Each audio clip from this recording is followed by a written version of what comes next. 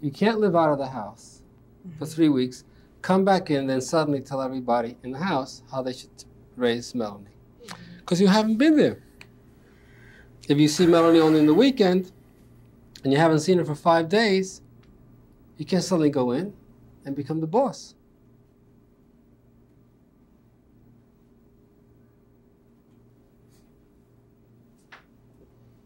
Well, we had a conflict, I think it was about a week or so ago, with Melanie studying her spelling words in great grandma's room. Mm-hmm. I was doing the dishes and cooking, and Melanie was with great grandma studying her spelling words. And a little boy came to the door and wanted Melanie to come out, and they were going to ride bikes. Mm-hmm. Melanie didn't want to go. She said, I'm studying my spelling words, and Lori made her go outside. Mm-hmm. So there was a conflict there because great grandma was helping her with her schoolwork. And it was just a conflict. She thought she should play outside for a while after being in school all day. Mm-hmm.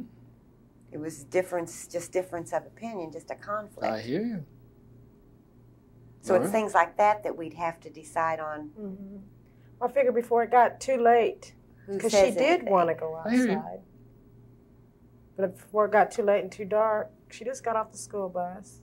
She shouldn't have to go right in the house and start studying again after all that. She should have time to play outside for a little bit, and then come in, study, take a bath, and get ready to go to bed. It should be, you know, in a schedule life. for I hear you. So that's the way I think. You know, I don't think she should come home right after school and then go in there and start studying. I mean, all day at school studying is just You know, gone. Something, Lori. I think what you're saying makes a lot of sense. Problem is, she's not living with you all the time. 对